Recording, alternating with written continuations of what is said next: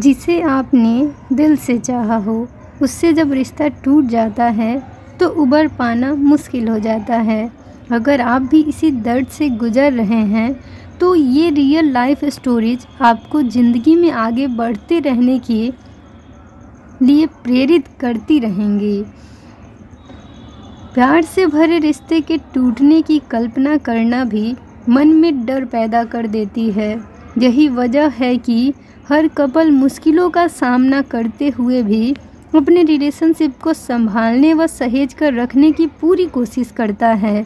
हालाँकि कभी कभी हालात ऐसे बन जाते हैं जिसमें सिवाय ब्रेकअप करने के कोई और रास्ता ही नहीं रह जाता। ऐसा जब होता है तो व्यक्ति भी पूरी तरह से टूट कर रह जाता है। लेकिन क्या इसे ही अपनी खुशी का अंत मान लिया जाए? बिल्कुल नहीं। माना कि इस दर्द से उबर पाना आसान नहीं होगा, पर यह मान लेना कि ब्रेकअप के बाद ज़िंदगी में कुछ नहीं बचा, बिल्कुल भी सही नहीं है। आज हम आपको कुछ ऐसी ही रियल लाइफ स्टोरीज से रूबरू कराएँगे। मुझे मेरा ब्रेकअप अच्छे से याद है। मैं उस दौरान ट्वेल्थ क्लास में था और मेरी रिलेशनशिप को दो साल हो चुके थे। मैं उसके काफ़ी करीब था, जिस वजह से मेरी अपने दोस्तों और अपने परिवार तक से दूरी बनने लगी थी।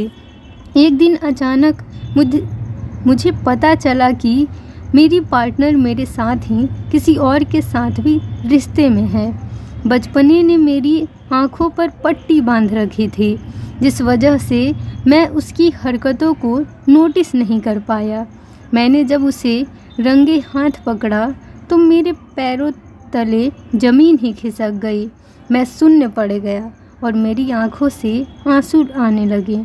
मुझे ऐसा लगा जैसे मेरी ज़िंदगी यहीं ख़त्म हो गई। इसने मुझ पर ऐसा असर डाला कि बोर्ड एग्ज़ाम में भी मेरे अच्छे नंबर्स नहीं आ सके। इस ब्रेकअप ने मेरी ज़िंदगी को जैसे पूरा ही बदल दिया। मैंने एहसास किया कि ज़िंदगी में दोस्त और परिवार का साथ होना कितना महत्वपूर्ण है। साथ ही मुझे समझ आया कि किसी दूसरे इंसान की वजह से आपको अपने भविष्य पर आँच नहीं आने देनी चाहिए। मैंने खुद पर काम करना चालू किया और खुद को उन सारी चीज़ों से दूर किया जिससे मुझे उसकी याद आ सकती थी। अपने दोस्तों और परिवार वालों को समय दिया, मेहनत करके अपनी गलतियों को सुधारा और खुद से वादा किया कि फिर कभी मैं ऐसी बचकानी हरकत नहीं करूँगा, संयम करूँगा। ब्रेकअप का असली मतलब दिल टूटना होता है और दिल टूटने की वजह सिर्फ़ धोखा देना नहीं होता। मेरे साथ भी कुछ ऐसा ही हुआ था। अगर आप एक शहर में होते हैं तो रिश्ते को संभालना आसान होता है। वही एक देश में अलग अलग शहरों में रहें, तब रिलेशनशिप को संभालना मुश्किल ज़रूर होता है, लेकिन नामुमकिन नहीं होता। हालाँकि, जब आपके साथी को दूसरे देश में रहना पड़े और वो चाहकर भी आपसे मिल ना पाए, उस स्थिति में रिश्ता बरकरार रखना नामुमकिन जैसा होने लगता है।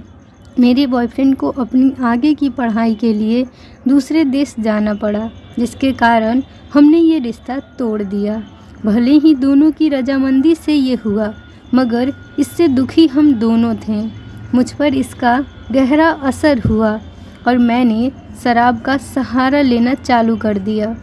इसने मेरी हेल्थ पर असर डाला और मेरा काम पर ध्यान लगना भी बंद हो गया। इस सब के बीच मुझे खुद से घृणा होने लगी। फिर मैंने ज़िंदगी में कुछ नया करने का सोचा। फिर मेरी ज़िंदगी में एक नए इंसान की एंट्री हुई।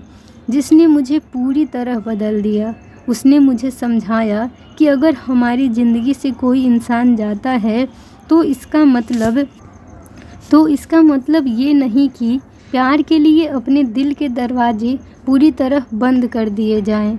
आप हमेशा नई शुरुआत कर सकते हैं नए दोस्त नए दोस्त बनाना, नए रिश्ते बनाना, खुद की ज़िंदगी को खुलकर जीना और सीखते रहना, ये सब बहुत आसान है। आप बस कदम उठाने से घबरा रहे हैं। एक बार कदम उठा कर तो देखिए और फिर आपको लगेगा कि ज़िंदगी कितनी मज़ेदार है।